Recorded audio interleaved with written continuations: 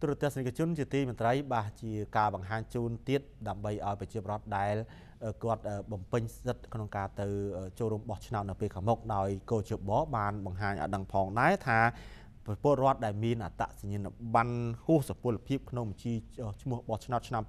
2020បានថាគាត់អាចដូរតាមអនឡាញបាន។ ថ្លែងប្រាប់អ្នកសារព័ត៌មានក្រោយកិច្ចប្រជុំរបស់គណៈកម្មាធិការជាតិរៀបចំការបោះឆ្នោតហៅកាត់តកជបជាមួយនឹងភាគីពាក់ព័ន្ធស្តីពីការផ្ដល់សុពលភាពនិងការដាក់ឲ្យប្រាស់ប្រាស់នៅបញ្ជីបោះឆ្នោតផ្លូវការឆ្នាំ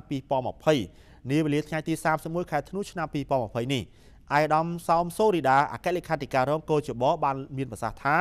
មុនការផ្ដល់សុពលភាពនិងការដាក់ឲ្យប្រាស់ប្រាស់បញ្ជីឈ្មោះបោះឆ្នោតផ្លូវការឆ្នាំ2020នេះ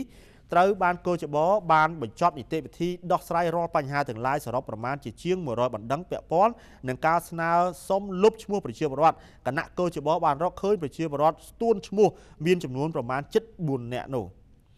បាទនោះដែលមានចំនួនច្រើននោះហើយអាយដាមសោមសូរិដាបានបញ្ជាក់ដែរថាបន្ទាប់ពីការដាក់ឲ្យប្រើប្រាស់ជាផ្លូវការនៅបញ្ជីឈ្មោះបោះឆ្នោតឆ្នាំ2000 20នេះក៏ច្បងក៏សូមអំពីនីវដល់ប្រជាពលរដ្ឋដែលមានអត្តសញ្ញាណប័ណ្ណហូរសុពលភាពអាចចាប់ដើមផ្លាស់ប្ដូរអត្តសញ្ញាណប័ណ្ណនោះតាមប្រព័ន្ធអនឡាញដែលរៀបចំដោយកោចបសម្ដៅធានាបញ្ជាការកាត់បាត់ឈ្មោះបាទប្រជាពលរដ្ឋពីបញ្ជីឈ្មោះបោះឆ្នោតផ្លូវការឆ្នាំ2020 ត្រឹមទាំងនេះក៏ចង់បញ្ជាក់មួយមួយហើយពិសេសគឺរំលឹកដល់បងប្អូនប្រជាពលរដ្ឋដែលមានបំណងចង់បដូរឯកសារចុះឈ្មោះបោះឆ្នោតដែលហួសសុពលភាពណាដែលមាននៅក្នុងប្រព័ន្ធបោះឆ្នោតហួសសុពលភាពហ្នឹងគឺចាប់ពីបញ្ជីបោះឆ្នោតនេះខ្លាយជាបញ្ជីបោះឆ្នោតផ្លូវការបងប្អូនប្រជាពល